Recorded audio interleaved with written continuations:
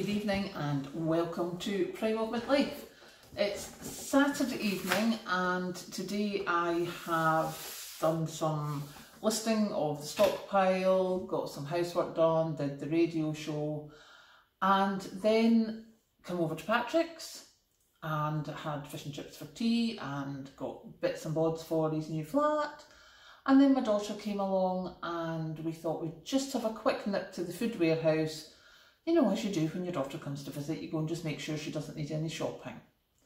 So off we jolly well trotted. Must say that the reduced items were pretty much non-existent, so that was pointless.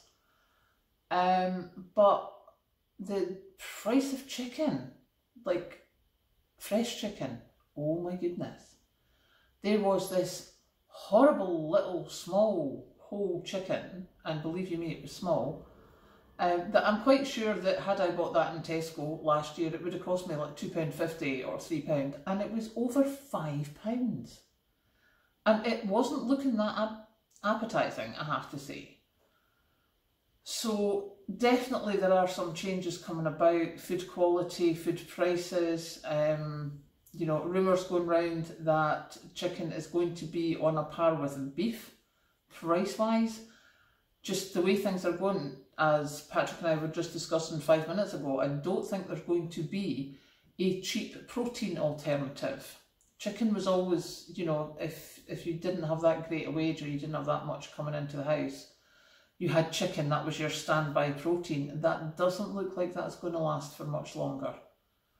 Um, the other thing, if you remember my video, I think probably yesterday, the day before, I talked about the diesel prices. Wednesday night when I came to Patrick's it was £1.80.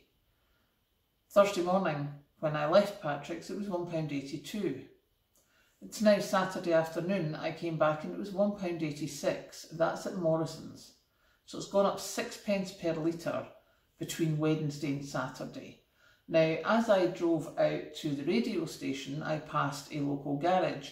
It was £1.96 per litre for diesel. On the way back, I was heading back via my house and I passed another garage which was £1.95 per litre for diesel. This is not sustainable. There is no way this economy can survive with the diesel prices like this. I mean, these trucks are running so much diesel. What did the guy say? They get something like 10 miles per litre. You know, for a truck to run. So it, it literally is, you know, they'll be lucky if they get out the yard and onto the main roads, onto the motorways and that. They are spending thousands of pounds, you know, and it's already going up. What was it, the, the last video I, I said about it, and it's, the cost pet for one truck has gone up 20,000 a year on diesel. Now, that was a week ago that lady said that. It's gone up Mean, literally gone up another six pence in three days per litre, and they're putting hundreds of litres in each tank, all day, every day. So if there is stuff that you don't have, get it now. Um, start getting yourself ready for whatever's going to happen because if the trucks stop rolling, there's going to be a big problem with people getting food, getting um, you know, hygiene products, toothpaste, soap, food, drink, anything. There's going to be a big problem with people getting that. Um, and just as a wee side thing, my water went off last night. Now, I know that um, somebody who shall remain nameless has been going back and forward with me about my bath because I'm such a great... I, honest to goodness, went up the stairs last night, thankfully just before I went to bed, turned on the tap to fill the cat's water bowl and there was no water. No warning, no nothing, just no water. It was dead. And I know that a friend phoned me after I'd gone to sleep, thankfully, um, and that was her just realising there was no water. So that was it off for, I think, about three or four hours. With no warning, no nothing, it just went bleh.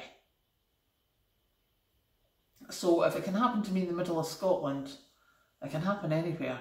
So yeah, this is one of those, it's ever more urgent now that you prep, that you get your stuff. And I know Patrick's sitting listening to this, and he admitted today, bless him, and I'm not allowed to get smug, I promise I'm not getting smug. But even he admitted that he did not think it would be getting this bad. He thought I was daft when I started. Now he doesn't think I'm that daft anymore because stuff is happening and we are better being prepped than not prepped. So please, whatever you can do, watch out because if this diesel keeps going up at this rate, it's not going to be worth their while for the trucking companies to work. They won't be able to pay the bills. So they will stop. Take care. See you later.